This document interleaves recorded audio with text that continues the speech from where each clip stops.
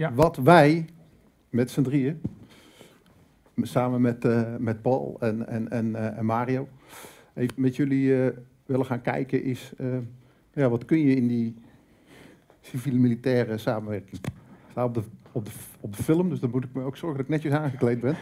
Anders krijg ik van de grote baas erop, zo de mieter.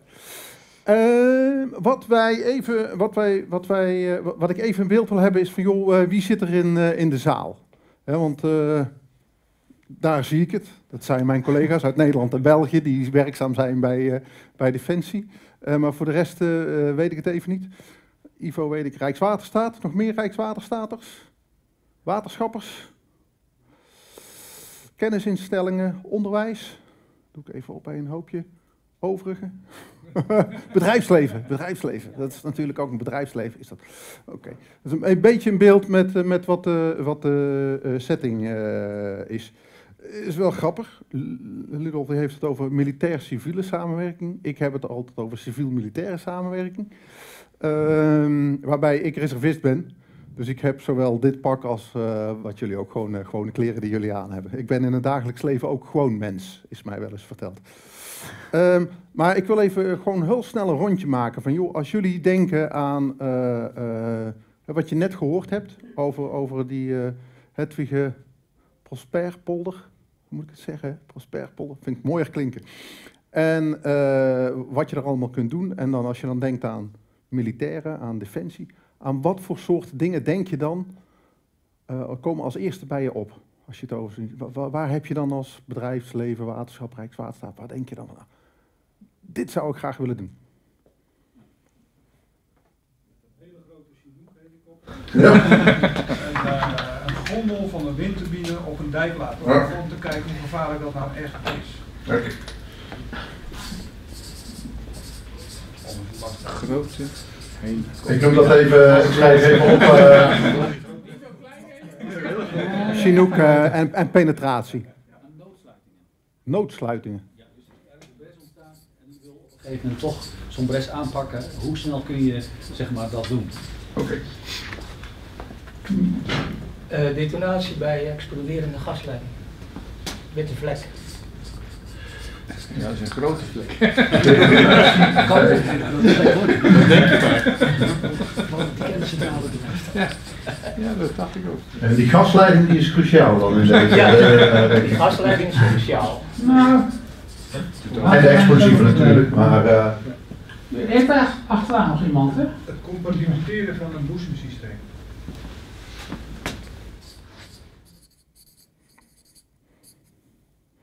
Compartimenteren. Is in, bedoelt u in korte tijd een boezem afsluiten? Oké. Maar dan op drie, vier punten. Ja. En dan uh, iets met menskracht?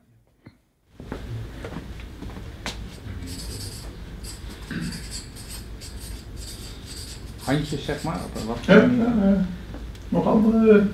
Wanneer durf jij nog veilig rond te lopen als je op wel niet beveiligd zijn? Hoe roekeloos ben je? Hoe roekeloos ben je? Risicomijdend. Ik wil ook een paar pasgroen kopen natuurlijk. Ja, oké. Helder.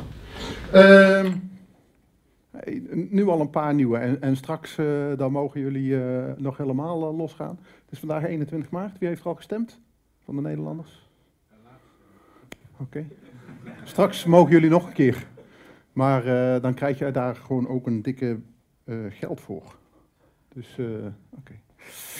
Ehm, ja, civiel-militaire samenwerking de laatste tijd ook iets meer in de picture, omdat we een samenwerking hebben tussen Rijkswaterstaat, de Unie van Waterschappen en het ministerie van Defensie. In de volle breedte, dus niet alleen de landmacht, maar ook de luchtmacht, de marine, op, binnen het Water Risk Training Expertise Center. Een, kleine groep die ook kijkt hoe je samen eh, gewoon st- sterk kunt worden, hoe je goed voorbereid bent voor als het er echt toe doet straks. We hopen dat het allemaal niet gebeurt, maar eh, dat je wel eh, de goede kennis hebt, de goede middelen hebt, de goede mensen hebt. En dat dat als een geoliede machine samen werkt in besluitvormingsprocessen, maar ook in daadwerkelijke realisatie. Nou, dus denk ik ook niet onder stoelen of banken dat Defensie wel over unieke eh, capaciteiten beschikt, ook over unieke kennis. Die zit vaak niet zozeer in de, in de technische kennis over dijken maken en zo. Da- daar zijn de civiele mensen veel, eh, veel beter in. Maar wel in logistiek, in besluitvormingsprocessen.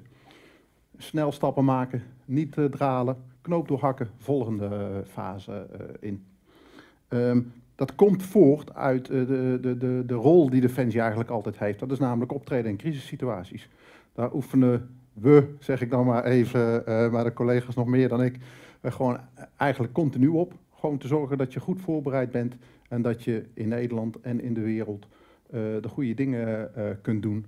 En dat je die veiligheid ook geborgd is. Hè? Dat je dat op een veilige manier doet. Ja, daar zijn we op ingericht. Hoewel dat in de pers eh, soms wel eens wat anders naar, vo- naar voren komt. Maar ook waar eh, bij ons worden werken mensen en worden wel eens fouten gemaakt. Ehm, maar juist die meerwaarde, ook voor Defensie, zit die in die, in die samenwerking met, met eh, nou, jullie als, als, als dijkbeheerders, als kennisinstellingen, maar ook met een Deltaris. Omdat daar een stukje hoogwaardige kennis op die techniek zit, maar ook kennis en ervaring met waar het hier straks ook om gaat. Grote proeven, veldproeven, modelleren, monitoring. Ehm, nou ja, daar, daar vind je elkaar.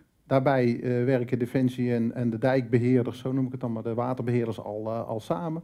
Eh, ook bij oefeningen van deining en doorbraak samen dingen gedaan. Hier zit wel voor ons ook een extra uitdaging in, in die samenwerking te verbreden naar de Belgische partners. We zitten precies op dat, op dat grensvlak van Nederland en België. Eh, maar ook met de kennisinstellingen. En daar zit weer een ander punt in. De Nederlandse Defensieacademie, bij veel van jullie bekend als de KMA. Eh, ja, daar, daar studeren ook jaarlijks een aantal eh, studenten af die binnen Defensie aan de slag gaan. Die hebben ook studieopdrachten en die kunnen perfect een aantal van die opdrachten die we hier uit te voeren hebben oppakken. Ehm, nou, dit plaatje hebben jullie gezien. Je weet waar het om gaat. Ik weet nog goed, september zaten we in Breda met een groep bij elkaar en er werd geroepen explosieven. En het eerste wat mijn collega zei, en die kerncentrale op de achtergrond. Als je het over veiligheid hebt. Hè? Eerste waar aan naar gekeken wordt. Zeg niet dat het niet kan, maar je hebt wel een aandachtspuntje. We hebben voor onszelf een paar dingen eh, bedacht. Eh, deze sluit al eh, aan bij ehm, Tweede van boven, noodsluiting. Noodsluitingen. Eh, Defensie die heeft eh, met name de, de Genie 105 eh, waterbouw. Die hebben een aantal van die pontons, die gebruiken ze om over het water te leggen. Jullie kennen ze bijna allemaal, denk ik, van de Nijmeegse Vierdaagse, waar die dingen ook ingebracht worden. Maar je zou ze ook op een andere manier kunnen gebruiken. Namelijk op het moment dat er op een dijk zo'n bres aan het ontstaan is, dat je ze vanaf de kant waar het hoge water is, eh, ze er tegenaan zet. Dingen die, eh, die, die drijven normaal, hè, er zit lucht in. Maar laat ze maar eens vollopen met water, dat heb je daar toch genoeg. Ehm, dus, ze- en, en zet die er tegenaan, waardoor je eigenlijk een noodsluiting kunt gaan creëren. Een, eh, een idee wat, wat in die samenwerking eh, tussen civiel-militair al ontstaan is, op kleine schaal geproefd, beproefd wordt. Maar hier is het juist heel mooi, want je kunt het beproeven in de praktijk. En dat is wat bij Defensie dan makkelijk gebeurt. Eh, maar dan is ook een mooie samenwerking met Deltaris. Van, goh, zou je nou eens kunnen gaan rekenen aan de effectiviteit en hoe je dat middel nog effectiever, efficiënter in zou kunnen zetten. Ehm, nou, en dan het hele logistieke. Die dingen die liggen allemaal eh, in Den Bosch. En als jij in Groningen iets hebt, hoe krijg je ze daar dan snel? Nou, of moeten we daar in een ander systeem gaan werken? Dat is één van de delen die we Dus- eh, kunnen. Misschien een vraag voor de mensen. Wat ontbreekt er nog om dit in te gaan zetten? Welke kennis of welk document? Of... Nou, dit, dit hebben wij destijds ook al bij de TU neergelegd. Om voor de student verder uit te laten zoeken. Dit is trouwens getest vecht. Dit is bij de vecht uh, bij Dalsen in de buurt. En vervolgens wouden we het hele principe, dus samen met een collega, dat is heel New York gevoerd, wouden het principe verder uitwerken, maar ja, verder kwamen we niet. Er kwamen geen studenten op en wij konden niet verder ontwikkelen, zeg maar. En bij Defensie uh, heb je het probleem dat er dan die relatiejob erin zit en vervolgens is die sergeant major die zit op een andere plek. En zo verwatert dat een beetje. En, ja, ik vind het wel mooi dat het nu weer opgepakt wordt, moet ik zeggen. Tenminste, dat weer in beeld is, laat ik zo zeggen. Maar het- het ontbrak echt aan, aan verdere, ja, aan een verder beeld en, en verder initiatief om het door te zetten, ja, wij hadden gehoopt inderdaad dat het gewoon opgepakt zou worden. Eigenlijk gewoon heel basic praktijkervaring dat het daadwerkelijk werkt. Werkt. Ja. Dus bij een beginnende bres, zo'n ding ervoor. En Dat is- dat is. Ja, en dat- twijfel ik nog aan, maar als je echt al een, net wat je zegt. Ja, ik zeg eh, begin- ik zeg ja, bewust dit, is- dit is een heel mooi instrument om, als je denkt van nou, dit gaat misschien niet goed, hè, zoals visback kon je al mooi aanzien komen, die scheuren in de dijk, dan zou dit misschien een heel mooi overbruggingsmiddel zijn. Maar als het best echt dezelfde is, dan vraag ik me überhaupt af wat daar tegen bestand is. Ik heb in Duitsland gezien dat ze die pickbacks erin gooiden en die lagen, ja, die fluiten gewoon weg, uh, stellen maar niks voor. eh. Eh, nou, dat is één ding. Maar het andere waar ik wel aan zit te denken is ook bij eh, bijvoorbeeld eh, bij kunstwerken sluiten valt. Eh, ja, als je op een of andere manier vol kan eh, drijven op de juiste manier en ja, misschien dat hij dan met een klap ervoor komt. ja, werkt het dan, dan eh, je instroomgebied serieus te beperken. Ik heb hem ook even opgeschreven, hè, want even discussie in welke situatie ga je hem nou gebruiken. Hè? Dus dat is voor een deel is dat wel testen, maar dat is misschien ook aan de voorkant met elkaar eens over nadenken. Want welke situatie wil je straks daar creëren? En het mooie zou zijn als je verschillende situaties creëert en dan eh, het gaat doen, eh, uitwerkt. Dus eh, zeg maar als onderzoekspunt meenemen. Maar we moeten onze dijk anders ontwerpen, omdat anders dit stuk er niet goed volpakt. Ja. Ja, is in eh, Nee, ja. En we zitten ook in weten dat het, dat het er is. Ik vraag me af of crisisorganisaties van waterschappen in hun protocollen hebben staan. Dat bij een dijk die dreigt af te schuiven, dat je dit soort eh, nou, preventieve maatregelen kan nemen om zo'n kasteel te laten zinken voor die dijk. Nou, dat staat absoluut niet in onze boeken. We hebben twee jaar geleden geoefend met jullie. Maar het- je vindt het niet terug in de protocollen als een technische mogelijkheid eh, om eh, in te gaan. Ja. En dan zit er gelijk ook die andere erachter. Als, je, als die erin staat, hoe ga je dat dan toepassen? En welke, eh, eh, eh, dan gaat het om de werkinstructies en de afspraken en de lijntjes en eh, dat Dat soort is een, een dingen. soort eindresultaat, hè? een protocol. Ja. Ja. Ja, Wie is verantwoordelijk? Dus als er een protocol is, wie is verantwoordelijk voor dat het protocol dat, dat moet, voor mij protocol staan, maar Ja, ja, maar wie is eigenaar van het protocol? Even kijken, we hebben een noodmaatregelen. Hoort het daar niet?